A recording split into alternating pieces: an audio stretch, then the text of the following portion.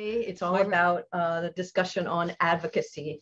And um, we want to ground that uh, in what's been happening around us in the past year and a half. The COVID 19 crisis has exposed systemic problems that migrant women workers have long understood informality in the economy, weak healthcare systems, lack of a social safety net, structural racism, gender discrimination, precarious jobs, and inhumane migration regimes.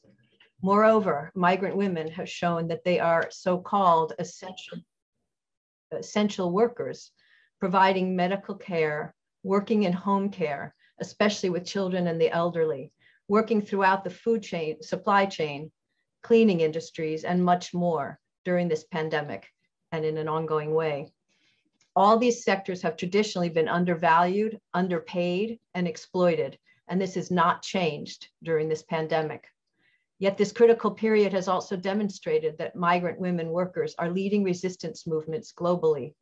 Migrant women workers are, um, have always played a strong role in grassroots activism, yet in the corridors of power, they are far too often um, uh, invisible. Today, we're joined by four courageous women who have used different advocacy strategies to advance the rights of migrant women workers by using regional or global institutional spaces and instruments such as the ILO Domestic Workers Convention 189, which this year marks its 10th anniversary, the more recent ILO Convention 190 on violence and harassment in the world of work, and the 2018 UN Global Compact pact for Migration, as well as other regional civil society initiatives, such as the Permanent People's Tribunal in Europe. Their experiences will shed light on how we leverage our feminist strengths to create gender responsive policy mechanisms today. What advocacy strategies targeted at improving labor migration policies have succeeded or failed? And how do we build a grassroots advocacy movement towards an intersectional feminist agenda by and for migrant women workers. I'm really, really pleased to um, introduce to you and for us to hear from uh, four amazing organizers and leaders. Um, they include Francia Blanco from Citra do Trans, in uh, Nicaragua, Fish Ip from the International Domestic Workers Federation, Jille Belisario from Fair Work, and Tola Ositelu from the International Trade Union Confederation. And we're gonna start um, uh, with Fish. Um, Fish is currently the Asia Regional Coordinator for the International Domestic Workers Federation. Ms. Ip is a union organizer for domestic workers. She's the founding organizer for the Hong Kong Domestic Workers General Union, established in 2001, and the Hong Kong Federation of Asian Domestic Workers Unions, founded in 2010. FADWU organizes local and migrant domestic workers with different nationalities. She started to work at the regional as the regional coordinator, co coordinator for the International Domestic Workers Network in 2009, towards the adoption of the International Labor Convention 189 on domestic workers.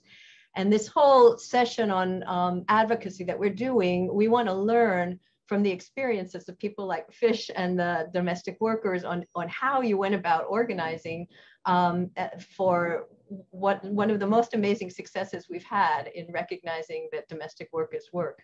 Um, so how did you organize around 189 and what would it take for migrant women workers to put their labor rights on the global agenda in a similar and complementary way today? Fish, welcome. Thank you. Thank you, Carol. Thank you for the organizers and everybody who is joining here. Good morning, good afternoon, good evening. Uh, my name is Fish from the International Domestic Workers Federation.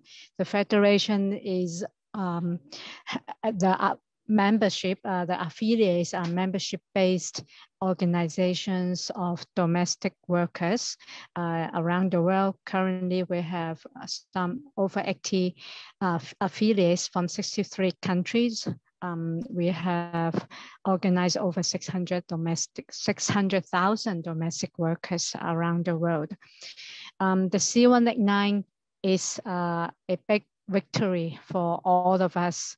Uh, I was very um, happy and feel honored to be among with the domestic workers, sisters and brothers in this victory and in the fight.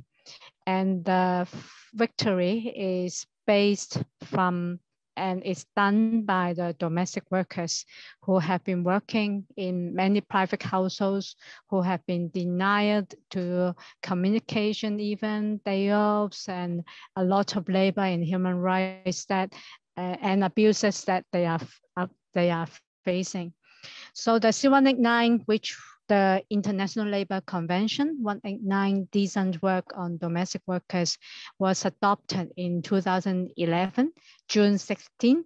So June 16 is our International Domestic Workers Day since then.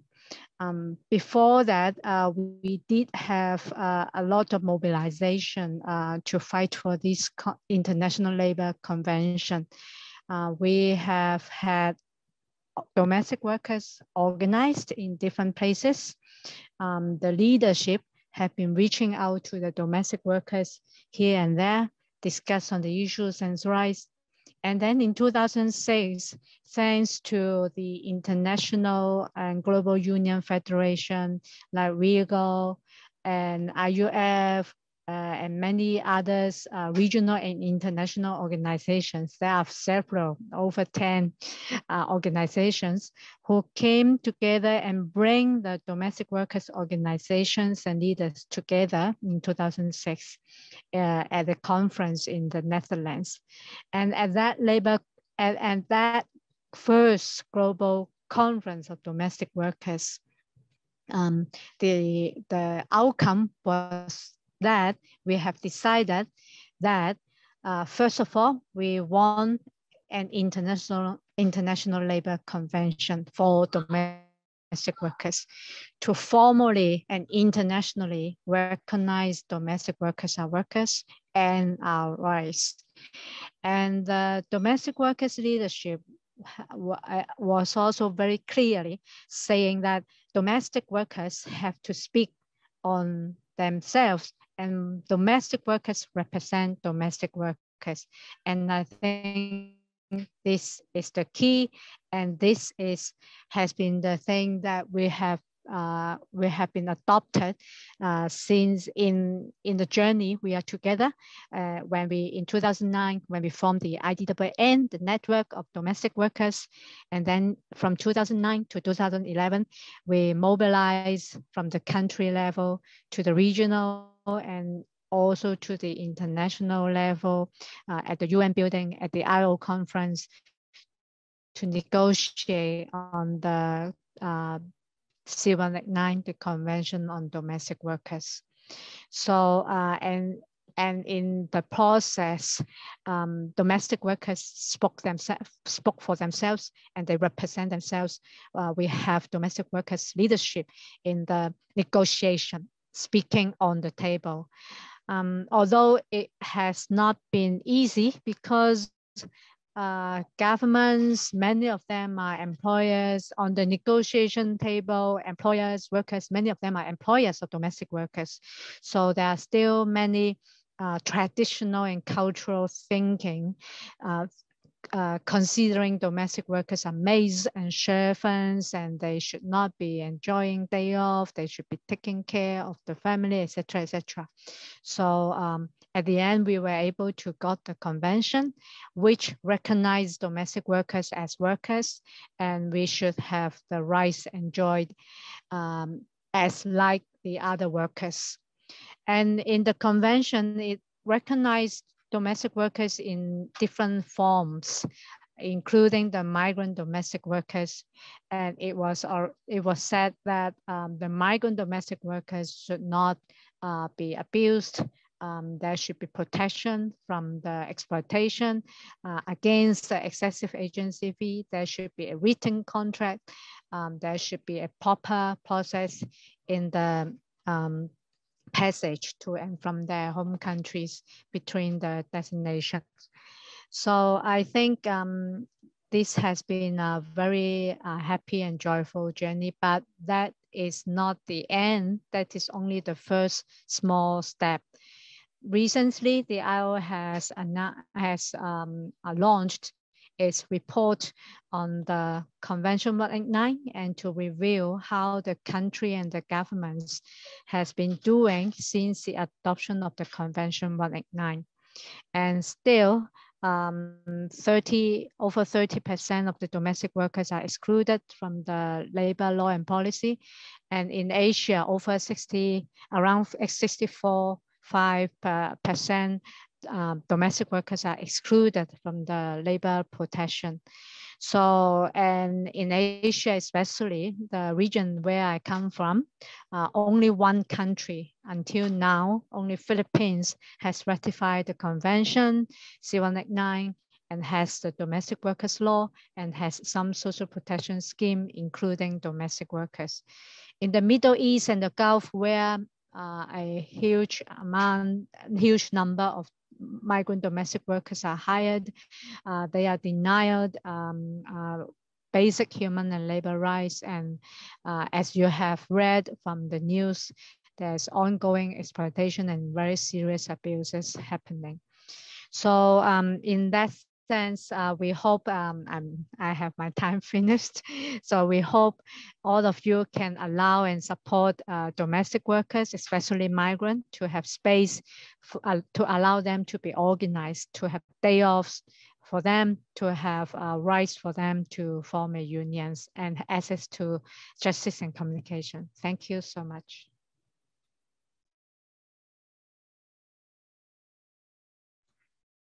Thanks so much, Fish, for, for that overview. Um, it was interesting. I picked up um, from what you were saying. I mean, central, the most central point was that domestic workers organized themselves and it was domestic workers' voices and roles in the negotiation um, that, that played such a central role.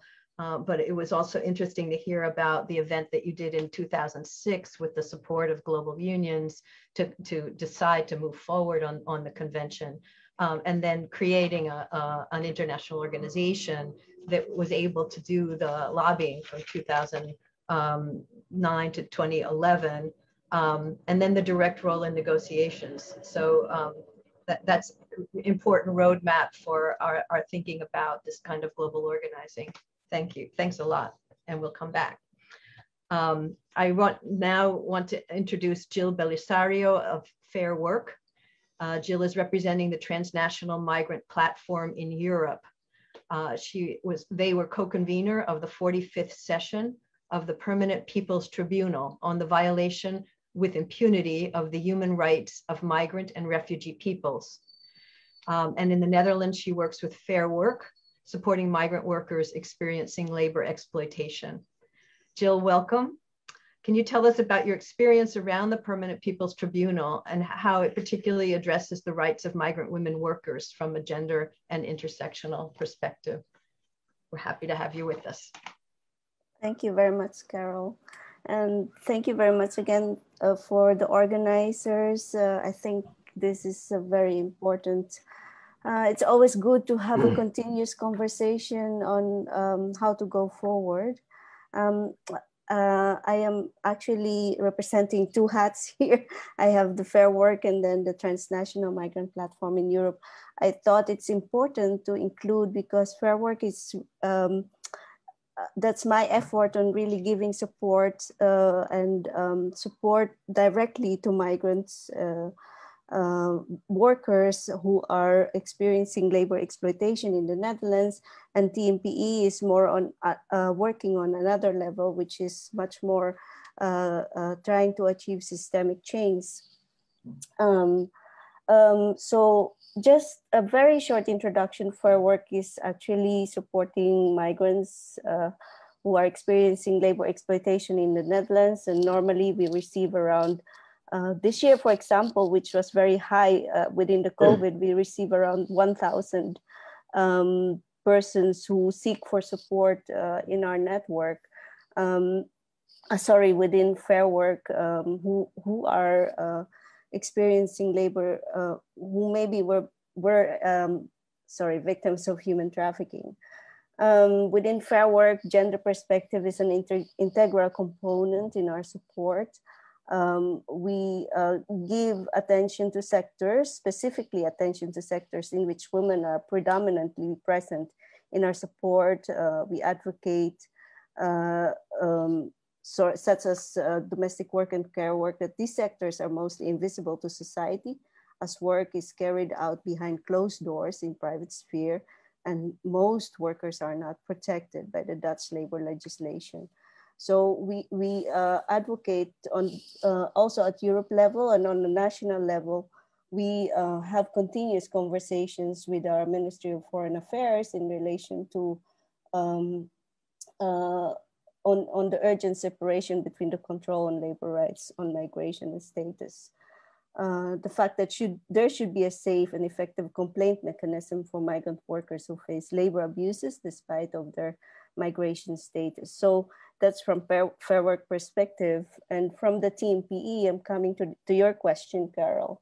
Uh, from the P TMPE perspective, as mentioned uh, also on the fact that the rights violations that migrants and refugees are experiencing, uh, such as labor exploitation, are not simply bad attitudes, but part of negative aspects of Europe that are closely linked to capitalism that is aiming towards domination, expropriation, and business, both economically and socially. Uh, from its formation in 2008, TMP has shared with its co-conveners a common analysis on inequality, not only that labor of migrants are being locked into a low, lower, so-called unskilled, low pay employment or work opportunity, including the next generations, but also an inequality in structural racism, sexism, and in access to fundamental human rights. And within the current prevalence of social fascism, social and labor relations are perme permeated within segregation, violence, precariousness, and indifference, and democracy empties itself of meaning, ceasing to recognize all peoples as subjects of rights. So having said that, a transnational migrant platform uh, in Europe um, is always seeking for systemic change. We have been engaging in different forums to bring the voices of migrants and refugees as well uh, on, on the international level, but also at Europe level. But in 2016, actually, during our conference, we decided to focus in Europe. Uh, we decided to initiate a longer term strategy that required a sustained approach of intersectionality and cross community and cross sector organizing, alliance building, strengthening a new protagonism and that will be led by migrants and refugees and their organization. To reject the policy of criminalization of peoples on the move the proliferation of detention camps and deportation, including the use of private corporations for policy implementations, as well as the externalization and militarization of borders, as in North Africa and Turkey at that moment, uh, which, uh, which we thought, we also think that it's being very much normalized at this moment in the EU pact. So we decided to approach the Permanent People's Tribunal to hold its 45th session on the violation with impunity and the human rights of migrants and refugees. From 2017 up to 2020, we held seven hearings in different cities. And um, uh, so based on the testimonies given, the PPT judges has concluded that immigration and asylum policies and practices of the EU and member states constitute a denial of fundamental rights of people and migrants and are veritable crimes against humanity, even though they may not be personally ascribable to individual perpetrators, according to the commonly agreed criminal law definition, they must be recognized as system crimes. The violations with impunity are justified in an architecture of overall EU and member state policies, which result in on, ongoing genocide and criminalization of solidarity.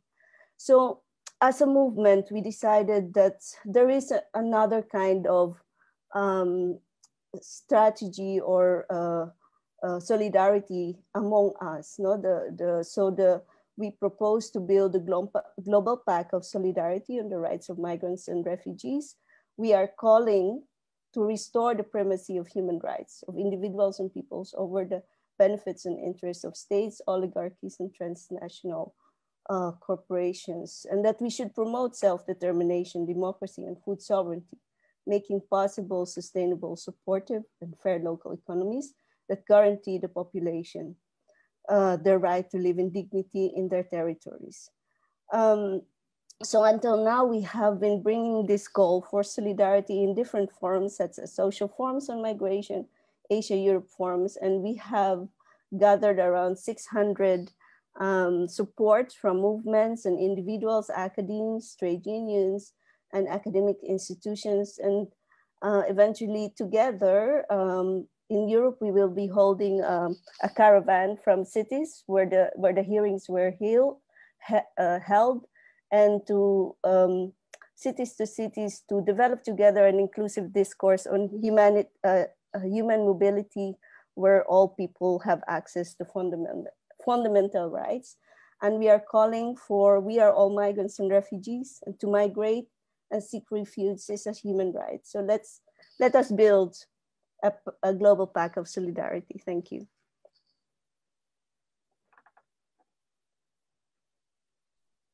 Thank you so much, Jille. Um, and uh, next uh, session, the fifth session, we'll be talking about um, organizing, uh, women worker-led organizing. And of course, what you're pointing out is that organizing is essential to any advocacy work and that, that what you're doing through the tribunal is building a common framework and linking across Europe um, mi migrant organizations and migrant migrants themselves in, in an organizing strategy. Um, and, and I'm, I'm just curious as a, uh, just a, a, couple second follow up, did it get media attention in any way or was it um, intentionally ignored by the media when you did the tribunal in 2016? Yeah, um, in different cities, it got some um, it got some uh, attention from the media, but of course, our the call on uh, that it's a systemic um, uh, there, that it is a systemic crime, it is still a very difficult uh, thing to be heard by people. So it's not yet yeah. a narrative that is easily um, uh, accepted. So, but we got some attention, and um, most importantly, from uh, organizations uh, on the ground. So that was uh, great.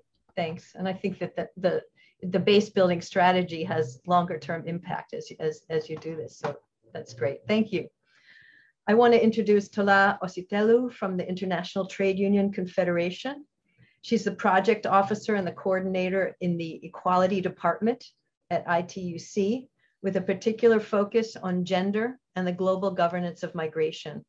She recently contributed a piece on the in, to the International Union Rights Journal about the experiences of West African migrant women workers in the Middle East, Europe, and elsewhere on the African continent. Welcome, Tola. In the experience of ITUC, what are the entry points and pitfalls of the UN uh, Global Compact for Migration to advocate for the rights of migrant women workers? How can we bring a feminist and intersectional analysis to the advocacy strategy around the Global Compact? Uh, are there any examples of, of how that is happening or how we might do that work? Welcome. Thank you. Thank you, Carol. Um, I will share my screen and do my best to answer those uh, quite comprehensive questions in seven minutes. Um, so I'm just going to share my presentation.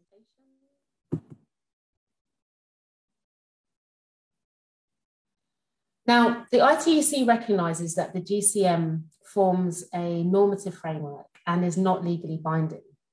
Nevertheless, even as a framework, it carries weight. Amongst laudable aspects, such as looking at diverse factors that compel many to migrate, there are sadly some missed opportunities. Most notably, the GCM's weakness in enshrining access to fundamental rights and protection for migrant workers.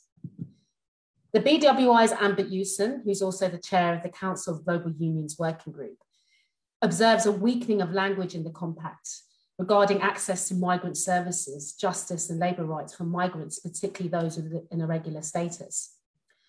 The International Trade Union Confederation's own General Secretary, Sharon Burrow, decries what she describes as a two tier system or the reinforcement of a two tier system amongst workers and creating an underclass of worker. This is automatically a gendered issue. Women make up almost half of the world's 260 million migrants and nearly half of migrant workers. Migrant women are predominant in a number of sectors most at risk of low pay, poor working conditions, insecurity, and general exploitation. We know very well, for instance, or many of you know, that the health and care sector worldwide, 70% of the, world, the workforce of, these, of this sector or these sectors is female. There's also the informal sector, where, for instance, in the developing world, many women would be street vendors or unlicensed hairdressers. And there's also the notorious garment sector, particularly in Southern Asia. The work that is often the most low paid or demeaned is stereotypically associated with being women's work, quote unquote. I think domestic workers, as Fish would have outlined earlier, are a very good example of where several of these factors intersect. Their work is often low paid, it's undervalued, and it's um, the, um, sorry, excuse me, I've lost my place.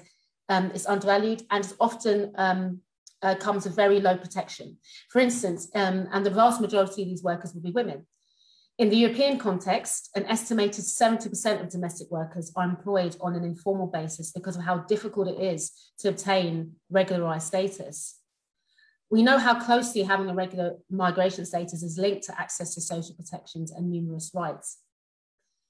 Although we commend the GCM's efforts to provide a comprehensive and right-centered approach to migration, and we welcome the involvement of the unions, obviously, during the compacts negotiations, we are disappointed by the shortfalls, which seem to have been driven sadly by the scaremongering and rightward drift of several European states.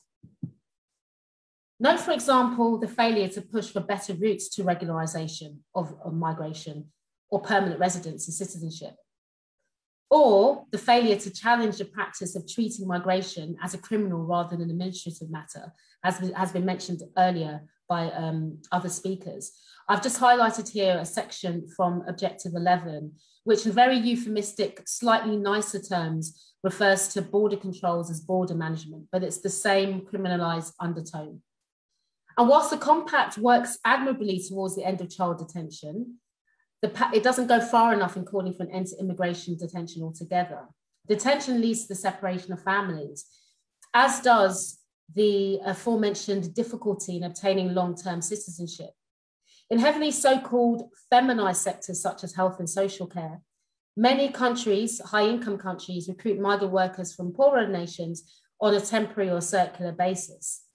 Now, in the long term, this practice is discouraged by the ITC and many in the movement for perpetuating both work and immigration insecurity. It doesn't allow pathways to family unification or permanent citizenship.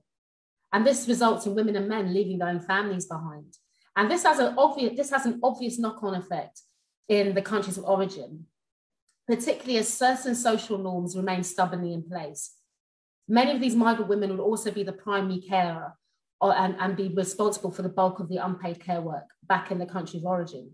So when they leave for the destination country, they're leaving behind loved ones without their primary carer. And often in contexts where there isn't much to be said about uh, uh, national safety nets or social protections.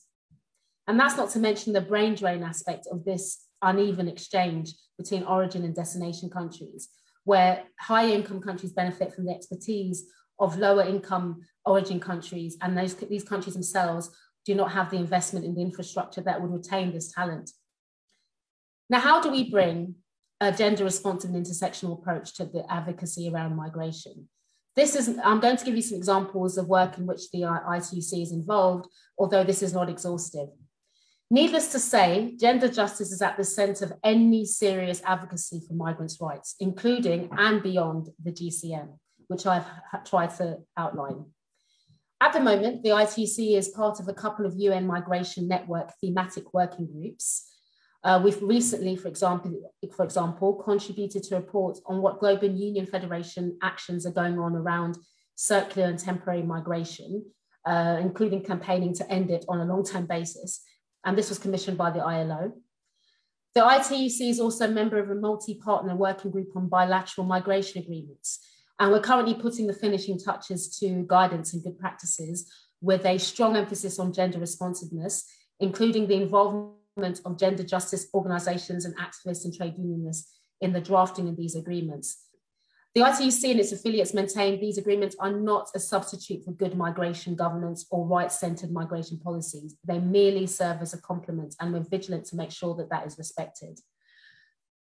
The ITUC is also involved in the monitoring the progress of and offering technical support to affiliates, campaigning for the ratification of Convention 189, and Fish has referred earlier to the ITUC's involvement in that pivotal uh, instrument, as well as Convention 190, which I know um, Francia will be discussing in more at length later on.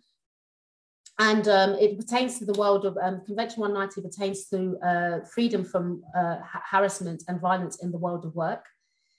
And um, the push for the ratification of these uh, conventions, um, and uh, sorry, I must add that Convention 190 is, um, comes into force today, two years after its adoption. And the push for the ratification of these kinds of conventions over the past decade are a really positive example of the efficacy of union involvement in these issues. Convention 190 foregrounds gender-based violence and its risks in the, in the context of work and beyond. We know that women and LGBTQ workers are particularly at risk of workplace violence. And this risk is even greater for women working in specific sectors, such as the informal sector or domestic workers, as well as for racialized and migrant women workers. The trade unions were absolutely pivotal and instrumental in making sure that domestic violence was recognized as an occupational health and safety risk in Convention 190, as particularly women trade union activists. Now, without ignoring the challenges, there have been a number of notable successes. So as well as the ratification of C189 in dozens of states, Convention 190 is now on its sixth ratification, Uruguay being the latest country, and that's only within its two-year history. And considering that this is within the context of a pandemic that's taken up at least half of that time, if not more, that is particularly impressive. Moving on, some of our African and European regional partners, I will be finishing very, wrapping up very soon, um, some of our African and European regional partners, um, the trade union, such as the Trade Union Network for Med Mediterranean and Sub-Saharan Migration, and the German foundation FES, have collaborated on a report that Carol mentioned in the introduction, based around the testimonials of West African migrant women across the MENA region and elsewhere on the African continent. This is called Testimonies of Migrant Women Workers in Senegal, it's available in both English and French and from the link at the bottom of your screen. And I'll also be posting that in the chat after my presentation. Lastly, in late 2020, the ITUC held two web conferences with some of the partners I've just mentioned who were involved in the report I've just referred to as part of the ITUC's interregional union networks on migration for Africa, the Americas and Europe. Uh, one of the fruits of this, uh, these discussions is a declaration that you're seeing a retweet of by one of our affiliates, the Trade Union, the Trade Union Congress of the UK. And this is an advocacy and campaigning document. Um, we have a long and a short version. And um, the statement was uh, released to commemorate International Migrants Day last December. And amongst other things, it calls on governments to put a halt to harmful migration policies, such as the securitization on world borders, as well as to invest in decent green jobs that pay living wages and should be particularly targeted at women, Black, disabled, and young workers. And that brings me to the end of my presentation. Many thanks for your time and attention.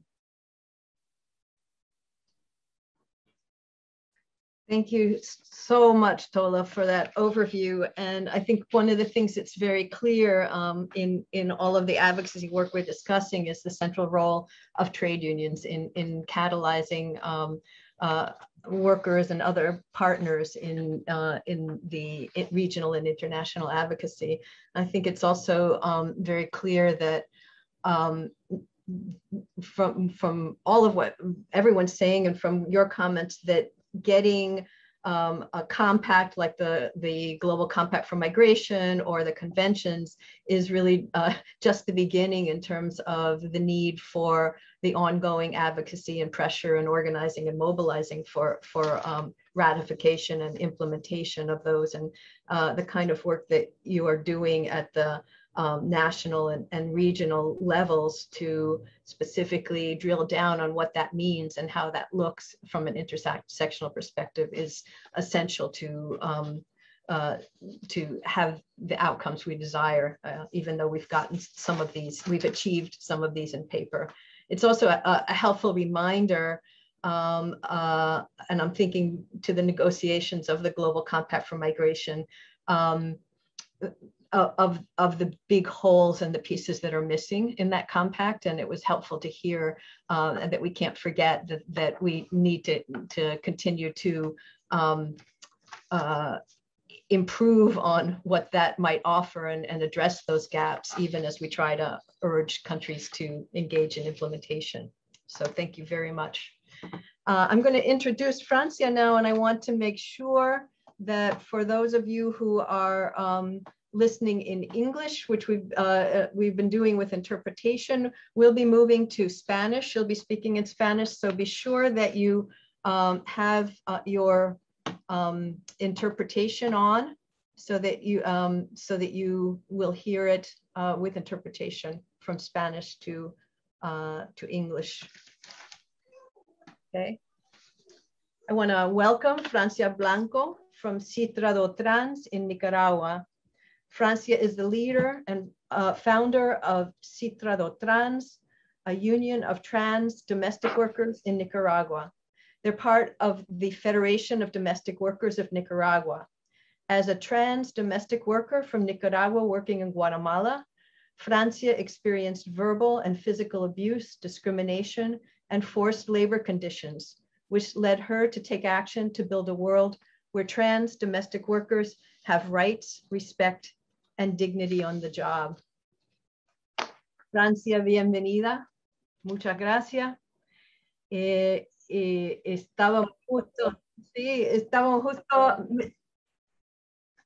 ah, perdón, tengo que cambiar el, bueno.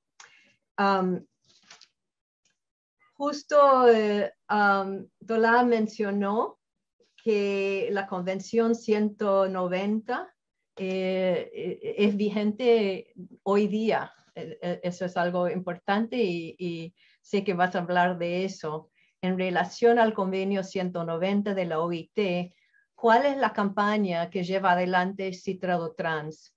¿Qué ventajas tiene la adopción de este convenio? para las trabajadoras domésticas trans, por favor.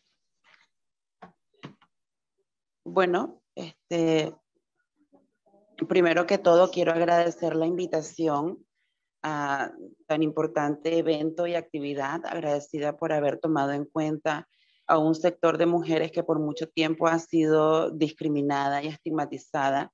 Sabemos que la población trans y de la comunidad LGBTI a nivel mundial vive este, vejaciones y violencia, obvio en otros países más que en otros y en otras regiones más que en otras. Sabemos que en Nicaragua, que es un país de la región latinoamericana, existe un gran arraigo a una cultura machista que obviamente, viene de épocas anteriores y que ha sido fundamentada por eh, la formación de estos roles que estereotipan de manera negativa a las personas con una orientación sexual diferente o una identidad de género diferente. Soy una mujer transgénera, fundadora del Sindicato de Trabajadoras Domésticas y Oficios Varios Trans de Nicaragua, Citrado Trans, y perteneciente a la Junta Directiva de la Federación de Trabajadoras Domésticas y Oficios Varios de Nicaragua, Petradomov Nicaragua como mujer trans y feminista siempre he pensado que no puede existir una lucha feminista sin la inclusión de todas las mujeres. Y cuando me refiero a todas las mujeres, me refiero a que no haya una distinción de raza, de sexo, de orientación sexual, de identidad de género, de clase social, porque al fin y al cabo somos mujeres y estamos en una misma lucha por tratar de acabar o erradicar el machismo una pandemia, al igual que el COVID-19 que nos ha venido afectando, afecta a las mujeres a nivel mundial.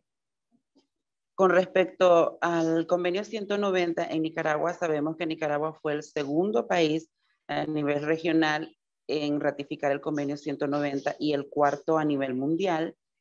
Actualmente, nosotras eh, sabemos que contamos con una ley, la ley 666, que es la Ley de Adicciones y Reformas al Código 1, título 8 del Código del Trabajo de Nicaragua, que dice en su artículo 1 que se reforma el artículo 145 de la ley 185, que dice que todas las trabajadoras y los trabajadores del hogar son aquellos que prestan servicios propios del hogar a una persona o familia en una casa de habitación, ya sea de manera habitual o de manera continua, siempre y cuando esto no, no, no, no contribuya a que el empleador tenga algún lucro.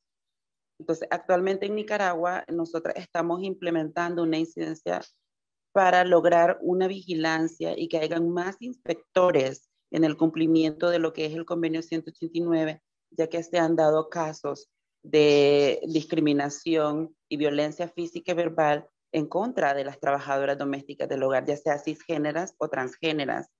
Y también en algunos casos de acoso laboral por parte de los empleadores y familiares de los empleadores.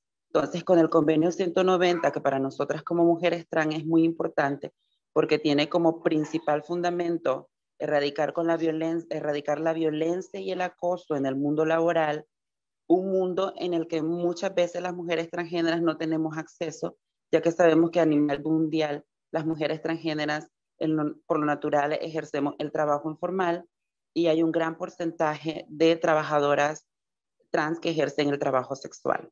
Actualmente en Nicaragua, en el sindicato contamos con 200 afiliadas de la comunidad trans y LGBTI que ejercen el trabajo doméstico y oficios varios, que no tenían conocimiento alguno de sus derechos laborales y del marco jurídico que existe en Nicaragua y que vemos a través de procesos de formación la necesidad de la ratificación en Nicaragua del convenio 190 para que nosotras como mujeres trans podamos tener acceso a un trabajo en el cual no seamos discriminadas, no seamos estigmatizadas y no seamos víctimas de violencia, este, ya sea física, ya sea verbal, ya sea psicológica, ya sea económica, porque muchas veces por el hecho de ser trans nos contratan, pero somos explotadas laboralmente. Entonces, este convenio va a venir a contribuir a que haya más vigilancia y que tanto las instituciones como las empresas privadas cumplan con este convenio que tiene la finalidad no solo de proteger al trabajador en su espacio laboral, sino al trabajador desde el momento en que va a solicitar trabajo. Y esto va a beneficiar a la comunidad LGBT que muchas veces es discriminada en las puertas cuando va a solicitar un empleo por su imagen, por su identidad, en el caso de nosotras, las mujeres trans. Nosotras tenemos una campaña actualmente en redes sociales que se llama Sí a la ratificación del convenio 190 de la OIT, de recomendación 206, que en algún momento le voy a compartir eh, por WhatsApp para que vean esta campaña, que tiene como principal este, protagonistas a las mujeres trans, a las mujeres trans que estamos demandando al Estado la ratificación de este convenio y a la misma vez la protección hacia la comunidad de trabajadoras domésticas en sus espacios laborales para ya no seguir siendo víctimas de tantas vejaciones a nuestros derechos humanos y de, que todavía se siga tomando el trabajo doméstico muy por debajo de otros tipos de trabajo. Y eso obviamente va a contribuir a que nosotras como mujeres cisgéneras o transgéneras nos empoderemos y conozcamos este convenio. Considero que como mujer trans en un mundo machista hablar sobre violencia es bastante delicado. Entonces me imagino de que el trabajo para la ratificación del convenio 190 tiene que ser bastante sigiloso. Ya sabemos que los machistas aman la violencia y sabemos que la violencia se mueve por natural en un mundo de hombres, en un mundo de hombres que tienen privilegios por el simple hecho de haber nacido con un pene y que tratan de ver a las mujeres de menos y mantenernos en esa posición. Entonces, hablar de violencia para ellos es hasta cierto punto peligroso, porque este convenio habla del respeto que tienen que tener ellos tanto hacia otros trabajadores hombres como hacia otras trabajadoras mujeres y trabajadoras de la diversidad sexual en sus espacios de trabajo. Y también la igualdad, una igualdad que tiene que ser no solo en el trato, sino también en el salario, porque sabemos que existen desigualdades todavía con respecto a las ganancias netas entre hombres y mujeres, mucho menos entre mujeres trans que a veces ni siquiera tenemos un salario este, formal, ni siquiera acceso a un salario mínimo, aunque la ley 66 establezca esto. Sabemos que siempre las empleadoras negocian sus trabajos muy por debajo del salario mínimo, pero a la hora de entablar una, de una denuncia, sabemos que el Ministerio del Trabajo siempre toma en cuenta la ley y este, calcula las prestaciones según la ley establecida y de esta manera se logra beneficiar a la trabajadora. Entonces, este, nosotras impulsamos una campaña en redes sociales, un lobby político constante con tomadores de decisiones, con otros sindicatos, con otras federaciones, con otras confederaciones existentes en Nicaragua, para unir fuerzas y lograr que en Nicaragua se ratifique el convenio 190, que como ya les he mencionado, es muy importante para todas las mujeres. Muchísimas gracias. Muchísimas gracias, Francia.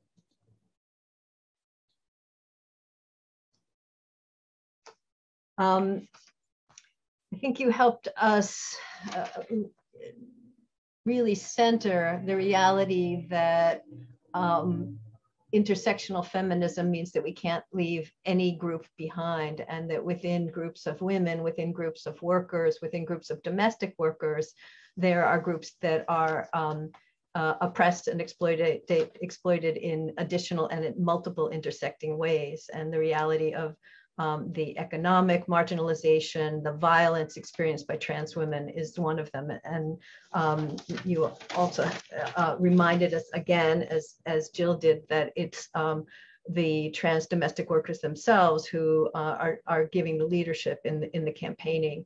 Um, but I, I, noted once again that you all have organized um, uh, as a union and affiliated with unions and federations in, in the advocacy that you're doing. Um, and uh, we're also reminded that uh, of, of the incredible importance of um, Convention 190 against violence and, and, harassment in the world of work and, and um, really the significant triumph that that has not only been uh, ratified in Nicaragua, but also um, implemented in, in law uh, within the country. Um, and at the same time, as you remind us, it's constant vigilance um, to have that uh, to move out of the informality of negotiating whatever wage from um, precarious situations to demanding that those law that that law be fulfilled, and that's going to take your campaigning, the social media, and um, uh, certainly more inspectors as you're calling for, um, and and the organizing that you're doing. So thank you very much for that reminder. We um, have. Uh, been talking for a long time and we're going to take a break. Uh, we'll take five minutes. Feel free to, um, you know, uh, turn off your, uh, well, uh, most of us don't have uh, cameras on anyway as participants, but take a stretch, get a, a cup of coffee or something. And um, I'm not sure if it's possible, uh, but I'm wondering, Bobby, if you could put on the fantastic Filipino song that we heard at the beginning again as we take a break so that people who might have missed it, um, if you scroll up, uh, there's um, uh, the, the song is in, uh, has the lyrics uh, at the top of um, comments in the chat as well. So we'll be back in five minutes to, to think about how these, uh, these experiences in or, uh, organizing and advocacy offer us some lessons for today. Thanks, everyone.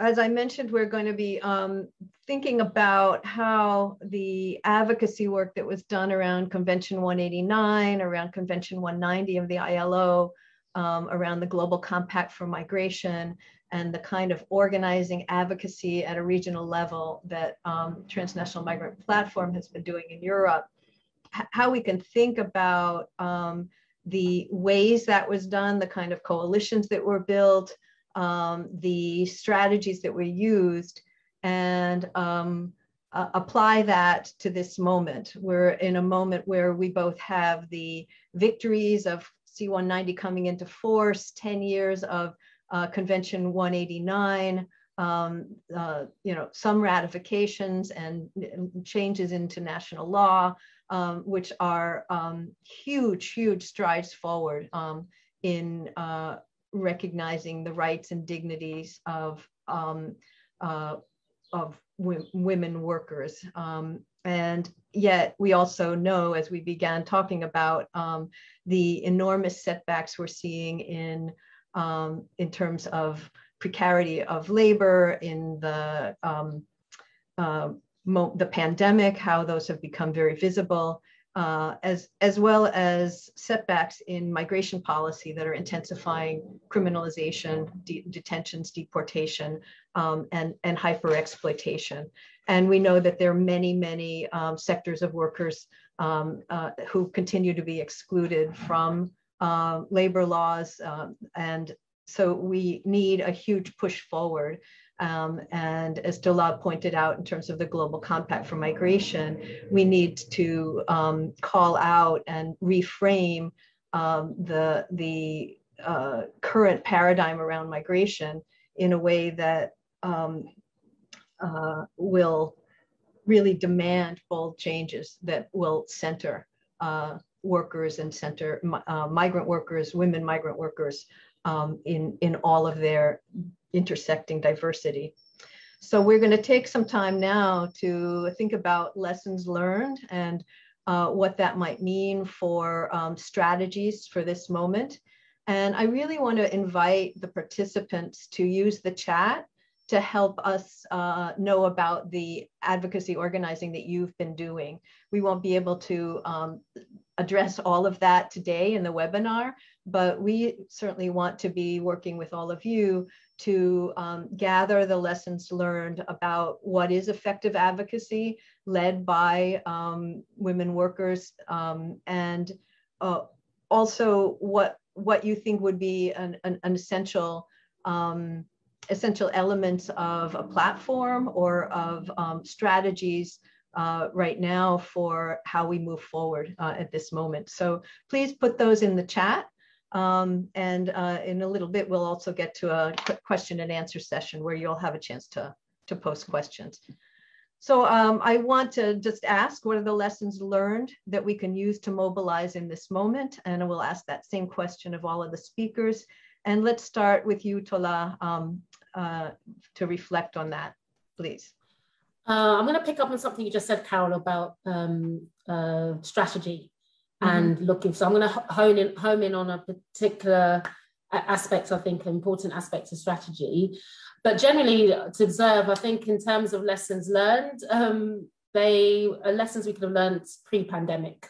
I think it goes without saying that um, the global health crisis has only emphasized pre-existing problems or compounded them. But being the innate optimist that I am, um, I see this as a watershed moment although we need to acknowledge that any positive change is not a given.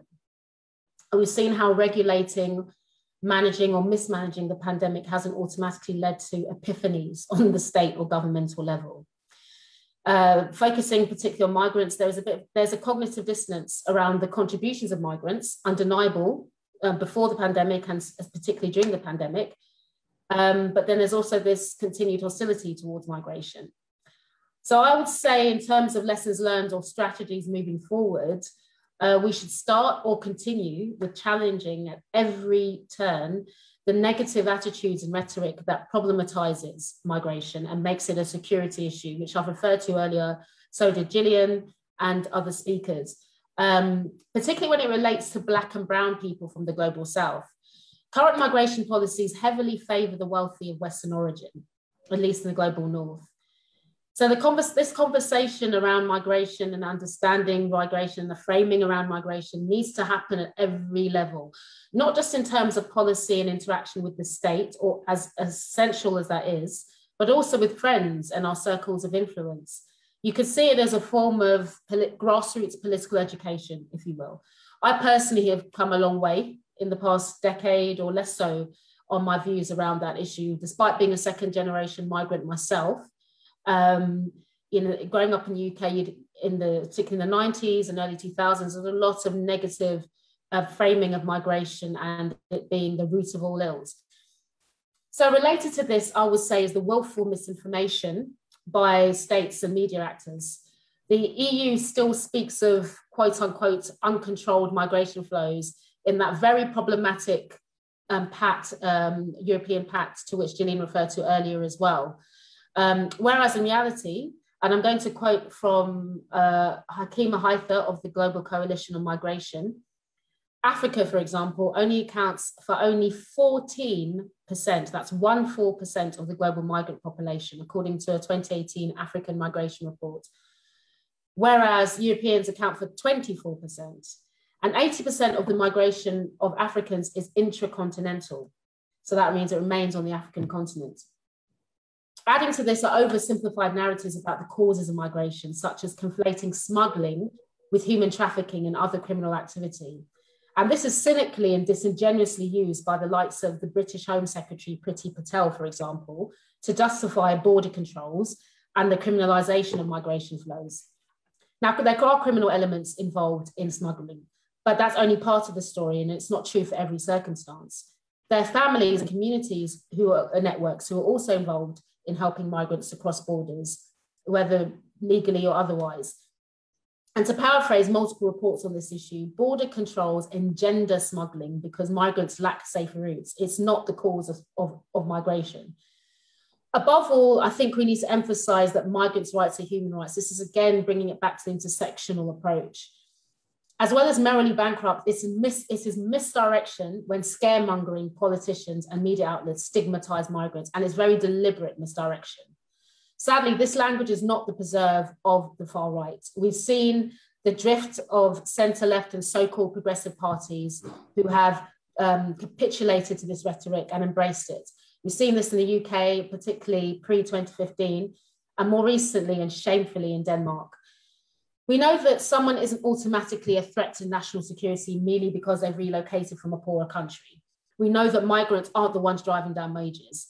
Instead, it's opportunistic employers taking advantage of states' light touch regulation and policies that privilege profit for a shareholder few rather than the many who create the wealth. We know that at almost every indicator, whether it be quality of pay, work conditions, even access to paid employment, especially during the pandemic, women would be the hardest hit, um, particularly disabled women and or racialized women. The rights that benefit migrant workers benefit all workers, such as job security, good and humane working conditions, and better wages. Just take, for example, the, the um, Fish mentioned the ratification of C189 in the Philippines and the laws adopted to comply with that. That would not just benefit domestic workers, but would have a positive, indirect knock on effect on other workers who've been historically low paid and undervalued work. In addition, better and more inclusive social protections are advantageous for all of society. So in conclusion, I would say solidarity amongst workers across the board, regardless of migration status and other demographics, must be fostered and unions must lead by example. Thank you. Thank you so much, Tola. Solidarity regardless of status. I think the unions, uh, certainly ITUC is modeling that. We appreciate it. Um, uh, our, our next speaker to this question is uh, Jille Belisario.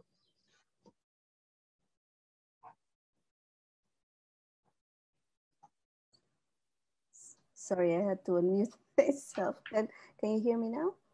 Um, yeah.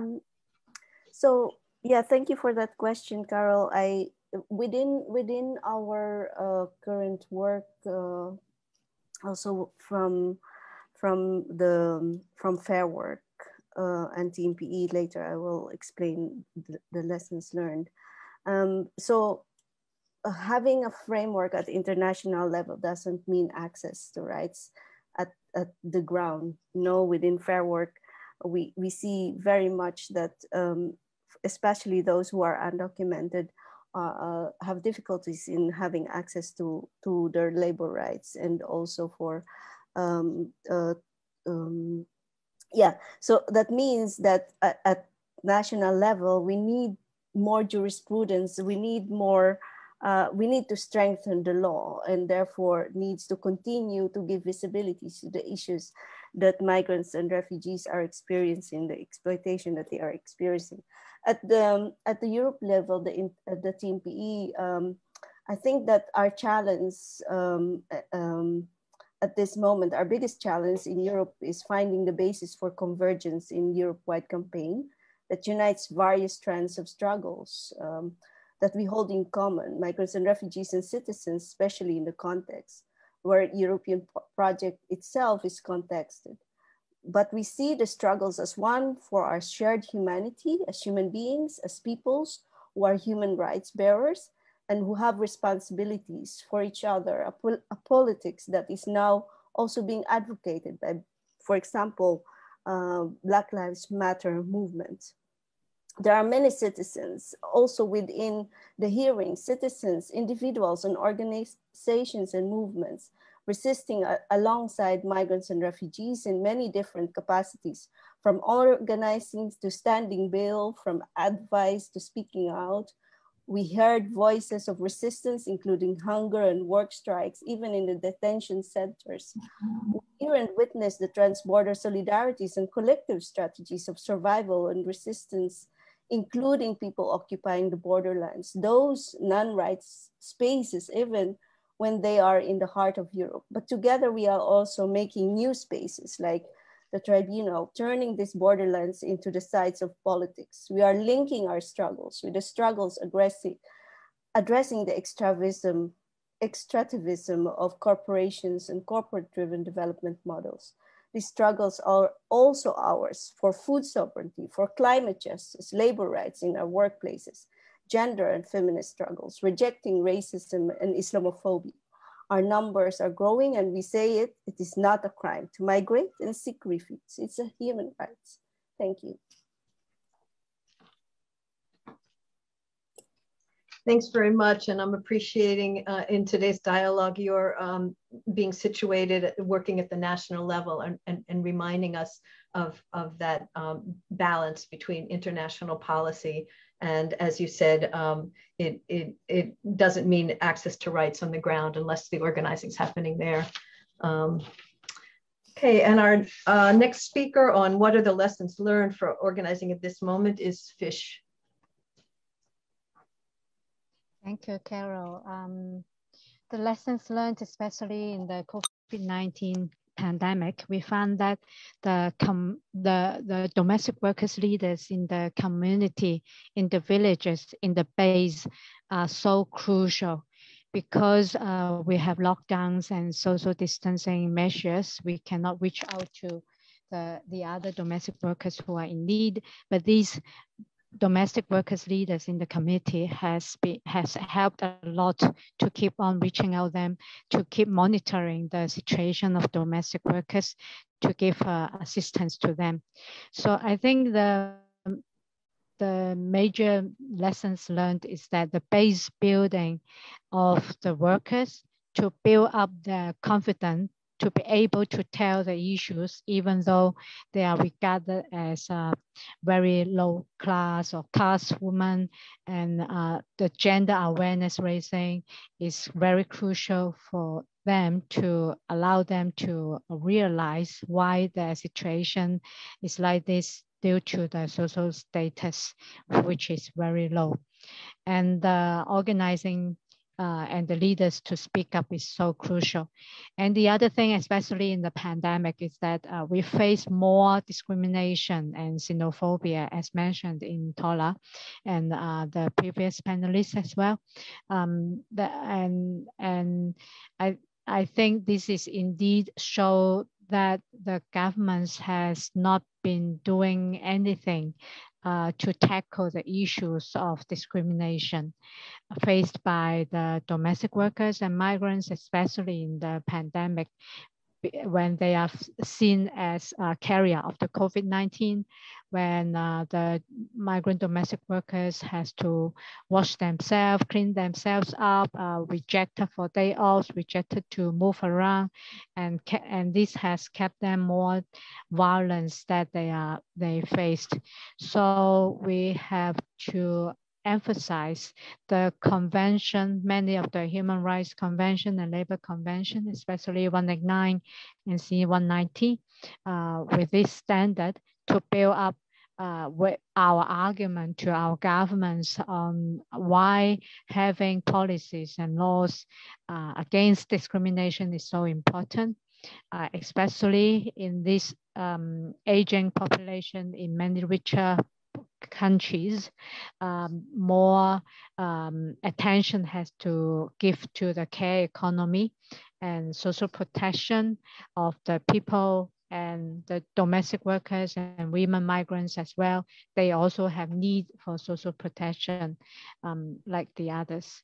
So the IDWF has the My Fair Home campaign as a way to simplify the languages of the Labor Convention C189 um, into to explain what is uh, fairness to in the home, to exercise fairness in the home with the hiring of the domestic workers as a way to have dialogue with the governments, with the employers especially. And the other thing, uh, one of the friends posted a question here about the kafala system.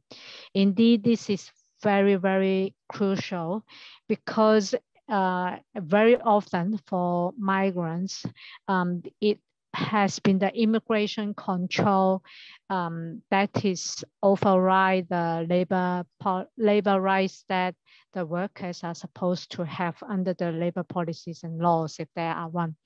So the kafala system, uh, the sponsorship system, which tied the workers visa to the employers and restrict them to movement to other employment, restrict them to transition to other employment or even departure has to be abolished um, so that they can have freedom to move. And when they face abuse, they are able to seek help without being put into an undocumented and irregular uh, status and put them into more risks and dangers.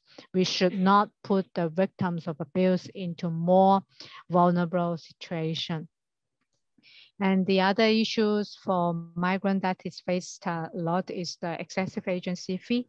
And there are affiliates of uh, who, who started a direct hiring uh, campaign so that the migrant domestic workers can have can be less controlled by the agencies, but they can have uh, more control on their own employment. So all these are crucial lessons that we have learned.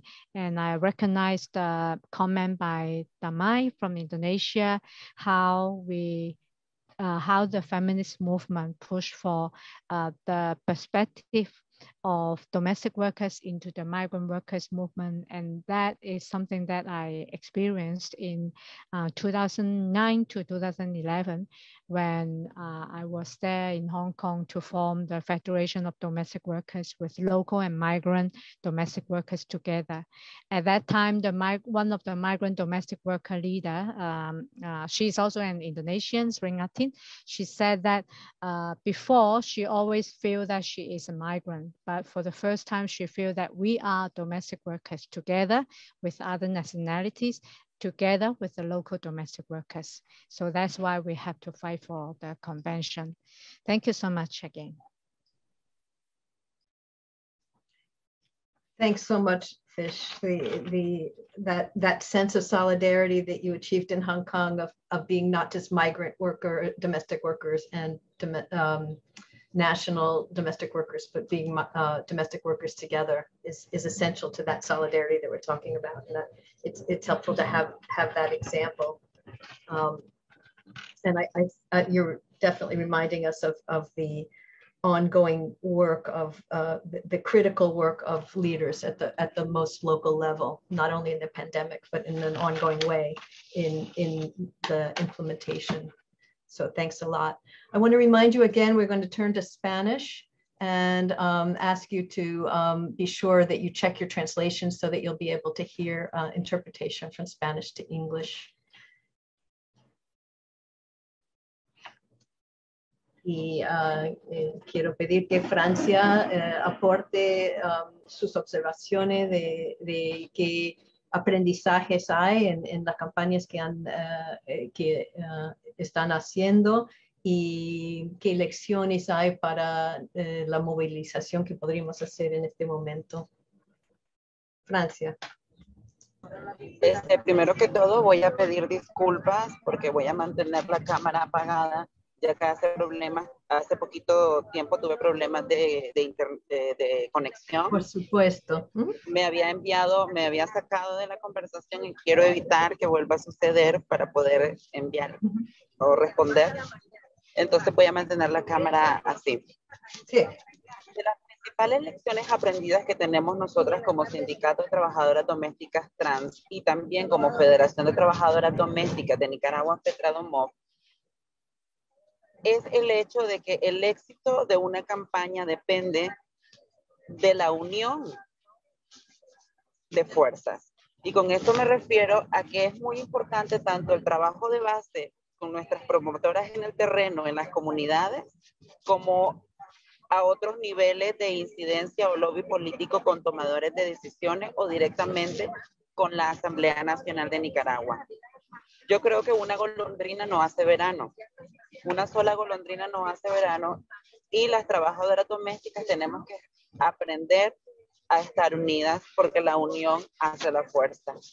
Hablando acerca del tema migratorio, acá en Nicaragua es un fenómeno existente desde hace muchos años atrás. Somos un país expulsor. Tenemos nicaragüenses en Costa Rica, en Panamá, en Estados Unidos, en España, en El Salvador, y la mayoría de estos ejercen el trabajo doméstico, porque más del 50% de estos migrantes son mujeres. No hay estadísticas específicas que nos digan cómo es el flujo, migratorio de la comunidad LGBTI, ya que sabemos que en los puestos fronterizos solo, solo se registran a las personas por su nombre legal y en Nicaragua no hay una ley de identidad de género, entonces las mujeres trans seguimos conservando este nombre legal. Entonces, cuando pasamos por las fronteras, no existimos. No hay datos, no hay índices que reflejen, pero sabremos por la realidad de nosotras como comunidad LGBTI que nosotras migramos por la discriminación que existe en nuestro país, altamente machista, pero también por el rechazo de nuestras familias y el poco acceso a los sistemas educativos y en salud. Nos vemos obligadas a tener que emigrar a otro país y vivir una doble discriminación, primero por el hecho de ser diversas y segundo por el hecho de estar en un país y no conocer de los derechos que como migrantes tenemos en un país, en otro país. Entonces yo creo que es importante también acordarnos de esos compatriotas que están en otros países ejerciendo sus labores y trabajar desde nuestros países para crear políticas que incluyan también y beneficien a las trabajadoras domésticas no nacionales de los países donde se encuentran o trabajadoras domésticas migrantes, ya sean de la comunidad LGBTI o mujeres cisgéneras o inclusive hombres, porque nosotras a pesar de que somos un sindicato de trabajadoras domésticas trans, no excluimos a las otras identidades de la diversidad sexual. Tenemos afiliadas mujeres lesbianas, mujeres bisexuales, hombres bisexuales y también chicos gay que ejercen el trabajo doméstico, porque sabemos que el trabajo doméstico no solo es directamente en casa, sino también en jardinería desde el chofer. Entonces, incluirlos porque no podemos hablar de inclusión si nosotras estamos excluyendo dentro de nuestros propios espacios. Entonces tenemos que incluir en toda la escala a todas las mujeres y a todas las personas que ejercen el trabajo doméstico para que juntas tengamos un mejor mensaje que genere un poco más impacto. Y principalmente clamar por esta unión y por la defensa de los derechos humanos, laborales, de las mujeres trabajadoras domésticas. La pandemia nos ha dejado muchas lecciones, como lo es el caso de que no estábamos preparados para este tipo de situación, o sea que deberíamos de incluir dentro de nuestros protocolos y dentro de nuestros este, planes de trabajo prever situaciones como esta que estamos pasando actualmente, como es la pandemia del COVID-19, que inclusive vino a generar mucho desempleo eh, en Nicaragua en el sector doméstico y más en la comunidad LGBTI, que de por sí en Nicaragua las mujeres trans vivimos con menos de un dólar al día.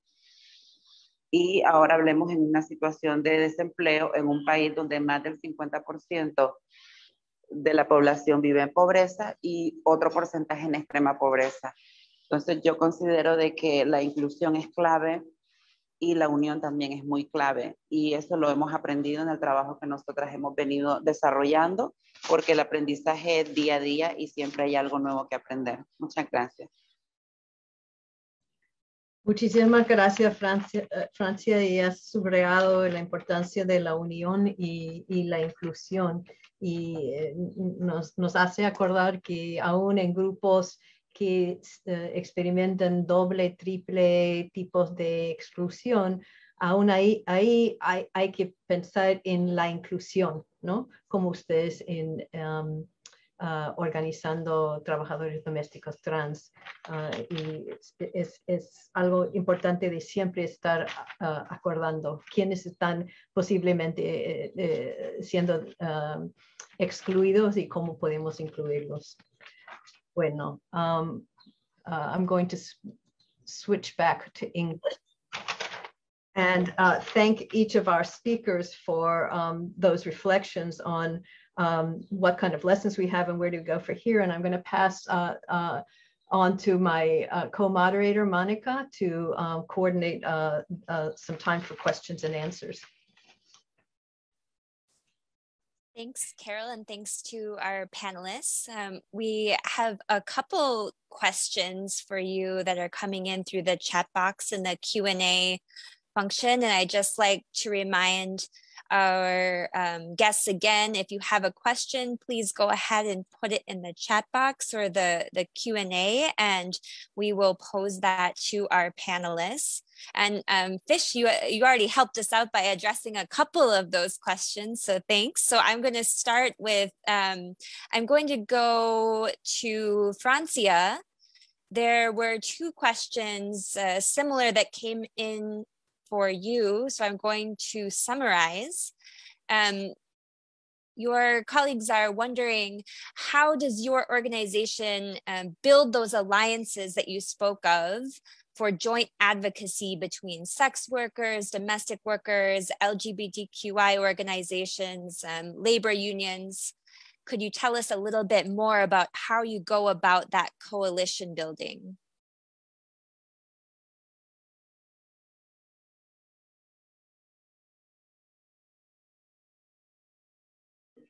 Bueno, este, las mujeres trans somos activistas desde el hecho de que asumimos una identidad. Tengo 36 años, o sea que tengo a los 16 años asumí mi identidad. Tengo alrededor de 20 años de ser este, una activista de, defensora de los derechos humanos de la comunidad trans en Nicaragua. Tuvimos la oportunidad de conocernos con otras líderes de la comunidad trans a nivel nacional en espacios de intercambio de prácticas y experiencias de organizaciones de sociedad civil LGBT acá en Nicaragua. Y tuvimos la oportunidad de conocer a doña Andrea Morales, que es la secretaria general de la Federación de Trabajadoras Domésticas de Nicaragua. Y platicando con ella, surgió la necesidad de crear un sindicato que defendiera los derechos laborales de la comunidad LGBTI, específicamente de la comunidad trans, pero sin obviar a las demás identidades en Nicaragua, ya que en Nicaragua se venía repitiendo un fenómeno que se repite en la región centroamericana, que es a las que a la mayoría de, de cooperantes internacionales siempre buscan a las mujeres trans por el tema de VIH o temas de prevención en VIH. Testeos o pruebas.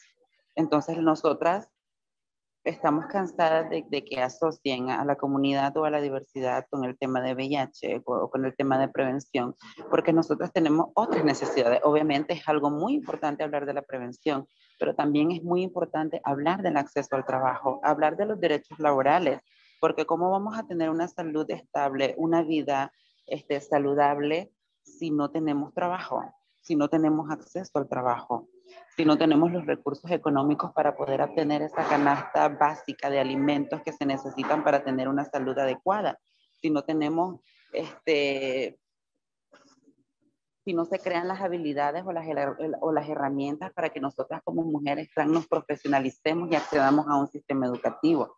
Entonces, obviamente, teníamos que cambiar de dirección, teníamos que hablar de este tema tan importante, unirnos y aprender de las que ya saben, de, de, las que ya sabían, porque ahora nosotros ya sabemos cómo es el mundo del, del sindicalismo, cómo es la unión entre mujeres a nivel nacional, a nivel regional, a nivel de continentes, y cómo juntas a nivel mundial podemos lograr este, logros tan importantes como son las convenciones del 189 y ahora el 190, que dignifican el trabajo de las trabajadoras domésticas, pero que también nos colocan en una posición en la que nosotras estamos gozando de, de, beneficios que antes no teníamos en Nicaragua y que ahora con la ley 666 ahora tenemos, como es el derecho a un salario mínimo, el derecho a una inscripción a un seguro social, el derecho a que se pague el salario. Obviamente, este, suena bonito lo que estoy diciendo, pero hay aspectos que no se cumplen, porque la ley ahí está. Pero tenemos que estar vigilantes en lo que es el proceso de la implementación, que es muy importante, porque sabemos que hay muchas denuncias que se han puesto porque los empleadores no quieren cumplir con esto. Pero también hay muchas denuncias acerca de casos de violación y casos de acoso y casos de discriminación hacia las trabajadoras domésticas por parte de los empleadores y familiares. Entonces, aprobar o ratificar en Nicaragua la Convención 190 es de suma importancia para reducir estos casos que al final a quien perjudican son a nosotras, a nosotras las trabajadoras domésticas, a nosotras las trabajadoras del hogar. Entonces, formamos el Sindicato de Trabajadoras Domésticas Trans y Tratran, que es el primer y único sindicato a nivel mundial de, de mujeres trans y comunidad LGBTI, y ahora estamos impulsando procesos de, de, desarrollo, crecimiento y formación en materia de derechos humanos, sindicalismo, eh, este, acompañamiento este, psicosocial, inclusive asistencia a, a, compañeras que han retornado de otros países por la situación del COVID-19 que ahora están buscando cómo reinsertarse económicamente dentro de, del país en un contexto este, actual, que es una nueva realidad, que es la del COVID-19, en la que tiene que haber mucha prevención y mucha protección, pero que sabemos dónde que no contamos con esos recursos. Entonces, a través de, de, de esta unión de trabajadoras domésticas a nivel mundial, hemos logrado poder apoyar a compañeras con kits este, de higiene necesarios para la protección del COVID, con paquetes alimenticios necesarios para aquellas chicas que fueron este, corridas de su trabajo, que no cuentan con trabajo actualmente, pero también estarlas formando en materia de, de empoderamiento y en materia de derechos para que sean ellas quienes defiendan sus propios derechos, pero también que sean ellas quienes den acompañamiento a otras compañeras que las busquen y las soliciten porque quieran afiliarse en el sindicato o porque necesiten este apoyo porque están siendo víctimas este, de violencia, de discriminación o se están violentando sus derechos laborales en sus espacios de trabajo. Actualmente el sindicato tiene una alianza a nivel centroamericano, pertenece a una alianza a nivel centroamericana de organizaciones este, de comunidad LGBTI, este, tanto a nivel de Nicaragua como Honduras, eh, Guatemala y El Salvador. Y el principal, propósito es promover la formación de sindicatos diversos en otros países, pero a la misma vez la inclusión de personas diversas a los sindicatos ya existentes, porque sabemos que hay personas diversas en diferentes sindicatos de trabajadoras este, del hogar a nivel mundial. Tal vez no se han asumido, tal vez no lo han dicho, pero es muy importante tocar este tema porque cuando hablamos de inclusión, hablamos de todas las mujeres. Muchas gracias. Thank you, Francia, and and thank you for for reminding us that it, it's really important that that we do not have um, any any groups of workers being placed in a box where workers have a whole raft of issues that impact them a whole raft of, a raft of issues that they care about and and that through a union we can organize to approach this in a more holistic way thank you for for your response and a quick follow-up question to you from uh, nari POCO, a, a, women's organization in Bangladesh, um, asking, uh, do you have a domestic workers union in your country?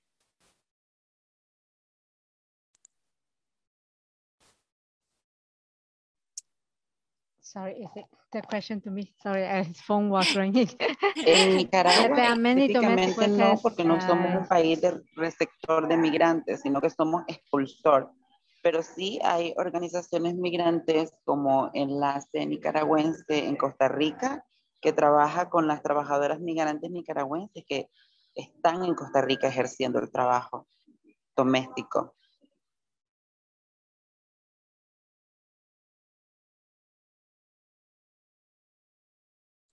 Thank you. And I'm, I'm seeing some other, other um, comments from the chat box that in many countries there are domestic worker unions. There may not be a, a union, but there are at least organized workers, even if they may not have the legal right to form an official union um, on the books. Okay. All right, as questions um, as questions are continue to come in, I'll um, I'll take the the moderator's privilege to ask one question, and I'll direct it first to Tola, but I'll invite other panelists to to also respond um, to this question. We know that within coalitions and even within feminist coalitions, we know that there are still issues internally with regards to racism and white supremacy, um, transphobia, anti-migrant attitudes, and, and other biases that may create internal divisions even within our own movement. And um, Tola, you alluded to this a bit, but I'm wondering if you have experienced this in in your work, and and what are your thoughts on what we can do to overcome this challenge? I think um, when I refer to the solidarity, in my um, intervention, uh, my second intervention, I was thinking in terms of sort of migration status in particular, because obviously we're focusing on migrant uh, women migrant workers today, and sort of historically, and some sadly, some movements on the left and some unions, there's this kind of, um, I guess, yes, internal conflict in terms of a suspicion or wariness of migration and migrants um, and this under, idea of undercutting jobs for those, the working classes. Um, and again, that's a very much divide and rule tactic that's, you know, whether overtly or subtly um, promulgated by uh, establishment, basically the establishment and um, those who have vested interests in keeping a divided working class. Um, so that was why I re re referenced that. Um, in terms of the in, in terms of diversion or di di diversions within the movements themselves, I, I'm not going to say anything particularly inventive. I would go back to dialogue, into dialogue amongst ourselves. Um, and I, I think an element of self-education. I think it, I think these type of fora are good because it's bringing people, bringing um, activists from all walks of life and from all different sectors into one space to hear these diverse perspectives.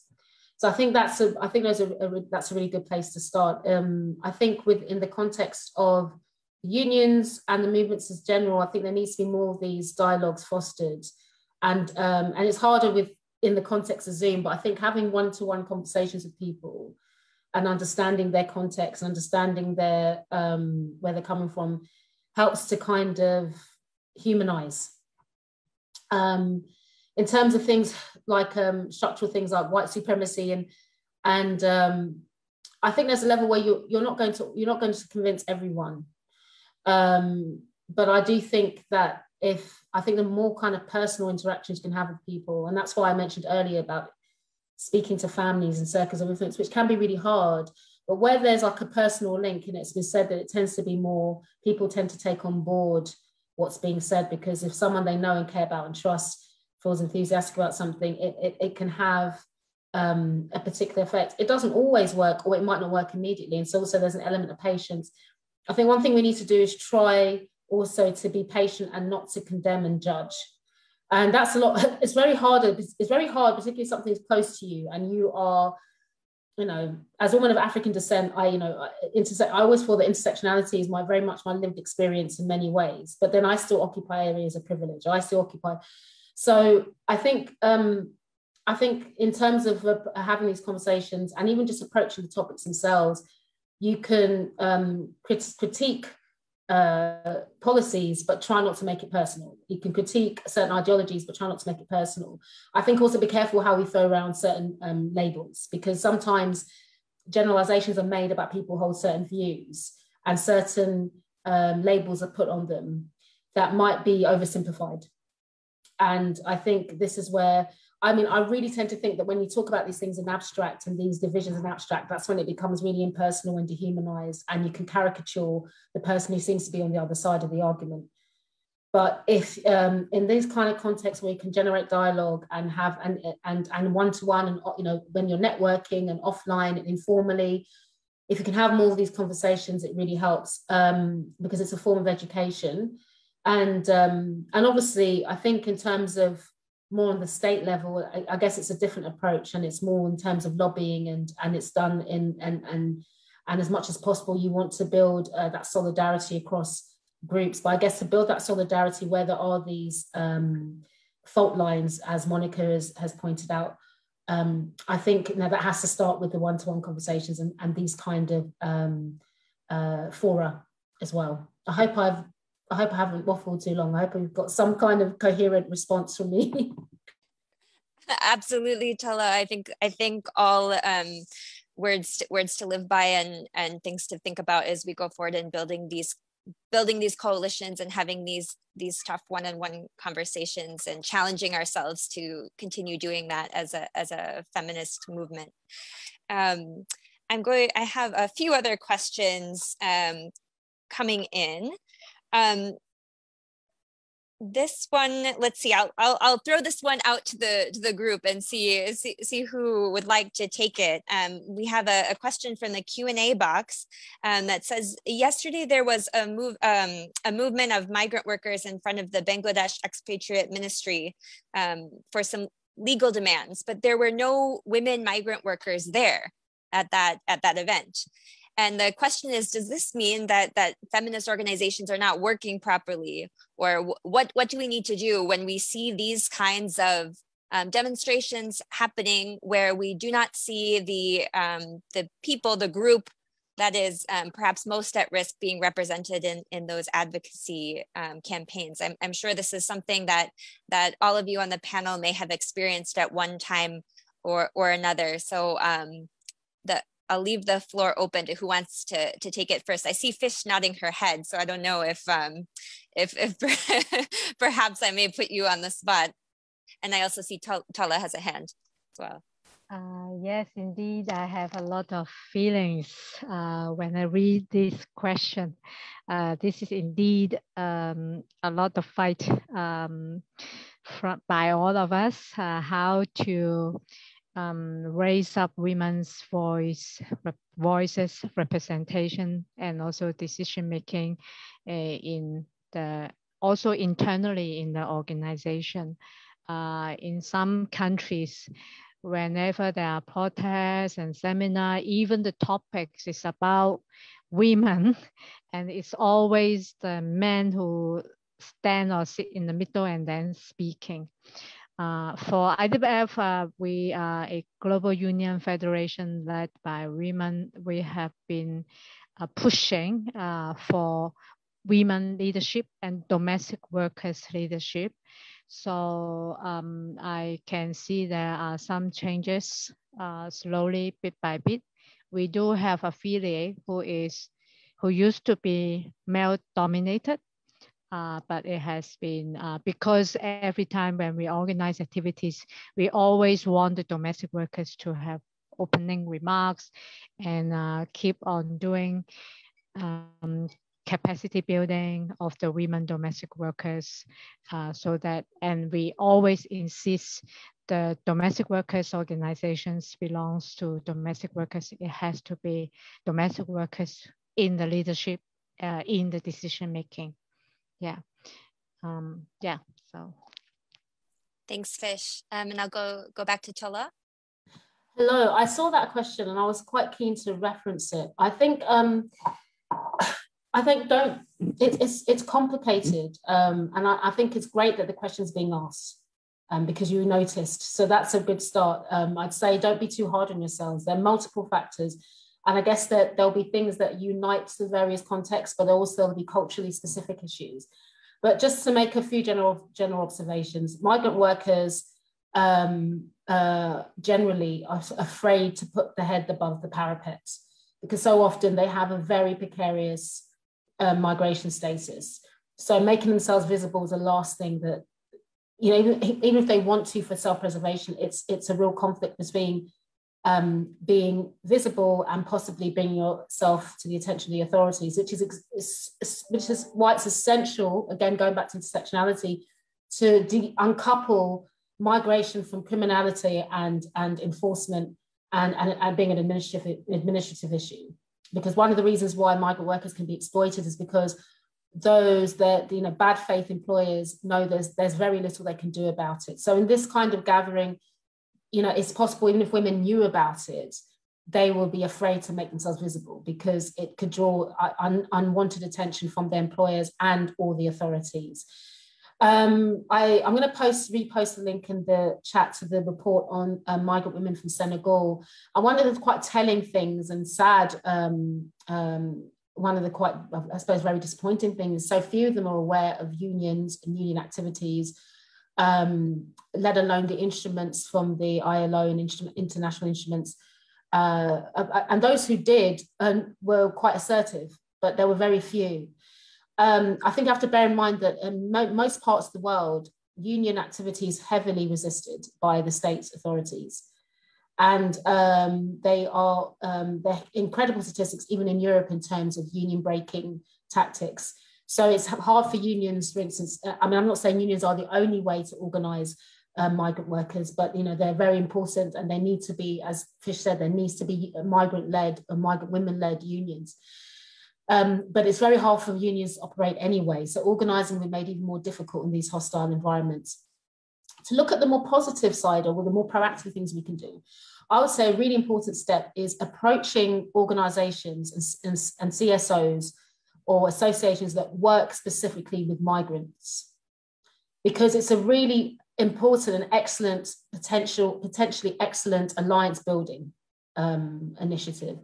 And as i understand it i think organizations that have been very effective in this area and unions have been that have been effective in this area have gone to where the migrants are which is you know maybe cultural um, centers and and societies. And in fact the report that i'm going to post again I think that's how some of the information was gathered because of, of approaching these sorts of organisations that helped um, provide the solidarity for migrants in the country of destination. So uh, I think they're working in concert with the unions in terms of putting them in touch with the women. So it's really, I'd say, as a first step is to approach migrant organisations or organisations where you know that there are going to be lots of migrants, and that might even include uh, religious institutions or and community groups and uh, and and reach out to them there. And it's and I think you build you can build some really powerful alliances there in terms of just also raising awareness amongst these groups of what is faced. And I think together you can you can fortify, you can join your forces and be and being greater than the sum of your parts. So I hope that helps. Thank you, Tola, and thank you, Fish, both for your responses and, and to Anisur from the Awaj Foundation in Bangladesh for that very thought-provoking question. And I, I think something that you just said, Tola, is a good transition to the next question on my list is, is that you mentioned that at times, especially um, migrant workers and women migrant workers um, may experience uh, increased violence or um, discrimination as a result of their activism and their advocacy. And so we, we have a question um, from Maria, who's a member of an Indonesian um, domestic worker migrant worker unions and she's asking and I, I, think perhaps francia this question may be directed to you but others may answer as well is are, are there any shelters um, or what kind of support services are available um, for especially for women migrant workers who may experience uh, violence and, and harassment especially as part of their advocacy work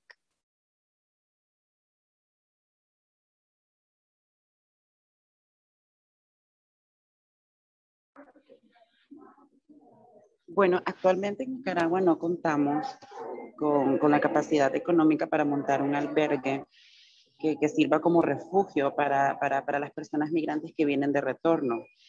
Pero sabemos la existencia y tenemos una libreta de contactos de albergues en diferentes fronteras, ya que sabemos que la migración de Nicaragua es Nicaragua, Estados Unidos, tienen que pasar por países de la región como lo es Salvador, Honduras, Guatemala, llegar a México y después a Estados Unidos se cuenta con una libreta de contacto de apoyo de albergues y organizaciones migrantes que pueden dar refugio, alimentos y acompañamiento a las personas que están en proceso o en tránsito de migración.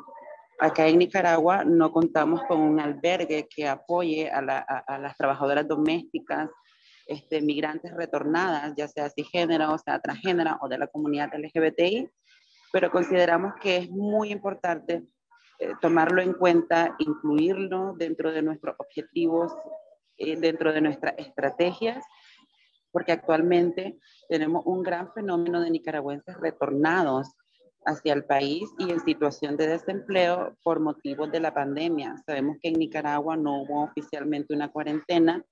Esto facilitó la movilización de personas que todavía se movilizan porque actualmente en Nicaragua en el contexto de la pandemia no existen tantas restricciones porque el gobierno lo decretó de esa manera, sino que cada quien asumió su propia responsabilidad. Este, en Nicaragua van a haber este movimiento normal todo el día. De hecho, nunca dejó de ser así por las medidas que, que no se tomaron. Y actualmente este, no tenemos ese mecanismo o no contamos con esa herramienta tan importante como lo son los albergues asistenciales de apoyo psicosocial y apoyo en salud a personas migrantes retornadas o en proceso de migración, pero es muy importante retomarlo e incluirlo para que tal vez sea un planteamiento de cara al sindicato en un futuro trabajo. Muchas gracias. Thank you, Francia. And, and I'll go back to Fish. I saw your hand also raised. Would you like to respond to this? Yes, uh, thanks, Maria from SBMI, the Indonesian migrant workers in the uh, in Indonesia, to raise this question. Um, basically, the destination uh, in Asia, in Middle East, in the Gulf, the destination country government do not provide shelter and any assistance at all to migrant domestic workers or migrants uh, in general. So even in Hong Kong, Singapore, um, in the Middle East and the Gulf, uh, the destination governments always rely on the sending country, meaning the embassies, to provide the services, uh, and the NGOs who has limited uh, financial resource to, to provide this. So we still have a lot to fight because without shelter, without um, a means for the migrant workers to stay in order to file their labor case at the court or tribunal, uh, uh, to have a living means, to have a shelter to stay, they cannot have access to justice. Um, the Hong Kong Federation of Domestic Workers Unions uh, recently published uh, a documentary uh, the price of justice, um, you will you will know uh, the issue uh, from the documentary. I put the link there. Uh, I think only Taiwan, the government is providing subsidies to NGOs to provide shelter. And then the embassies, uh, Indonesian, uh, for example, they have some shelter, but it is very much restricted. For example, the workers who stay in the shelter of the Indonesian embassy or consulate, they, uh, um, they have time that they cannot go out uh, in the evening and cannot have make contact. So those workers staying at the Indonesian embassy, uh, uh, we will lost the contact with the workers uh, for those unions and NGOs who are assisting the workers. So it is a huge issue. Uh, so we have to work a lot on this. Thank you, Fish and, and Francia both. And thank you for, for raising that out. That something as fundamental as shelter is essential to workers being able to access other forms of justice, including um, reclaiming wages that have been stolen by the employer and accessing justice on a broader scale. So this is certainly something that needs to be at the heart of our campaigns. Um, I, I also see Jille's hand raised. Would you like to respond as well to this question or, or any of the others? Um, yeah, in I, I would like to um, um, respond to the access to have shelter. I mean, and also in relation to the um, what Tola mentioned in relation to the uh, workers in Bangladesh uh, in front of the uh, having the strike. Um, for example, in um, in the Netherlands, people uh, who are undocumented uh, has very uh, difficult access to shelters. It has to do with their migration status. Um, I had a case um, last two days ago who, who was a victim of sexual violence and I was trying to find uh, psychological support for her and also uh, shelter but eventually um, although it's a priority but still it's she did not she was not able to have access to those um, to psychological support and also shelter at first we need to uh, it, it, needs to be designated that she's a victim of human trafficking, for example, or sexual violence. So those administrative mesh, uh, administrative categorization are also um, sometimes um, uh, therefore very difficult for people to have access.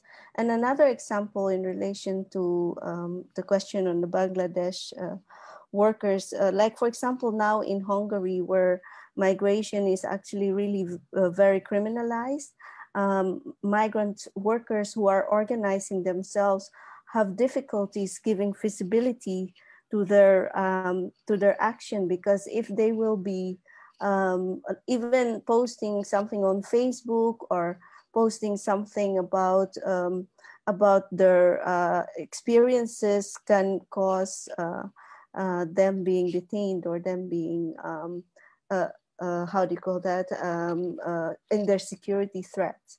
No, so I agree with Tola. Um, many issues on the ground are sometimes very much complicated, and the picture does not say uh, everything. So that needs to be uh, taken into consideration. Thank, thank you, Jille. Thank you for those excellent points. A reminder that nothing is black and white in the work that we do. And I want to thank um, all of our panelists and participants for this, this lively conversation and the question and answer. I'm going to, we're about at time. Um, so thank you everyone for sticking with us. I'm going to hand it back to my colleague, Carol, to close us out. Sorry, just before you hand back, um, so I just wanted something that I thought that I should have quite important. Important. I should have just added to my um, intervention earlier in terms of um, talking about solid building solidarity. I think um, it's again it's a really obvious point, but point finding the points of interest oh, and highlighting the points of interest such as my, migrants' rights and human rights, and like I said earlier, in terms of um, improved working conditions for migrants will be improved work conditions for all work, workers and, and wages.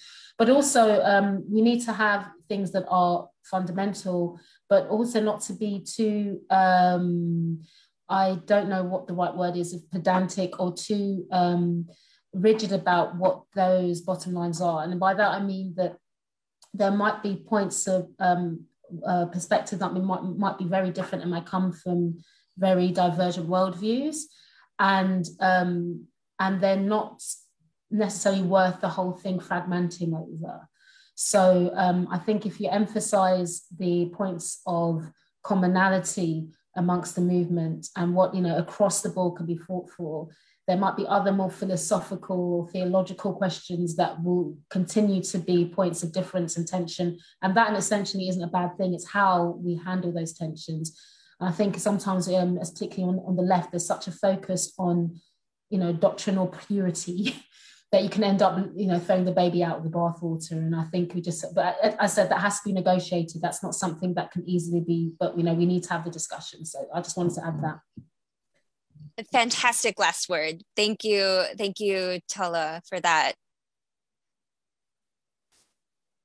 Uh, all right, uh, back, uh, back to you, Carol, to, to close us out for the day.